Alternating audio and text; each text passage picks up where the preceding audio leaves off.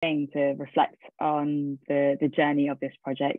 It first started in 2020, actually in the height of lockdown, and I was giving Black abolitionist walking tours online.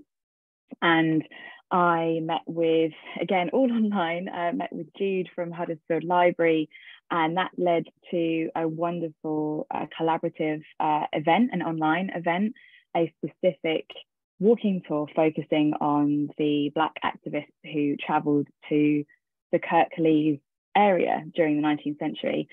And that was uh, a really beautiful relationship between libraries in, Kirklees, archives, community organisations, and activists.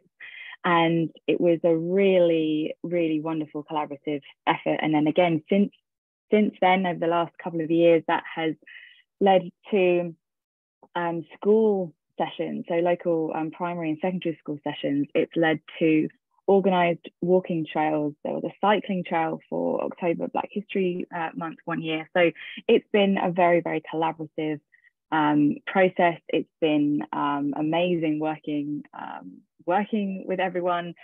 And in terms of where the project is going, again, there's so many things that we can do and um, and have done and build on what we have done. Perhaps some more um, school workshops and school teaching resources uh, and lessons.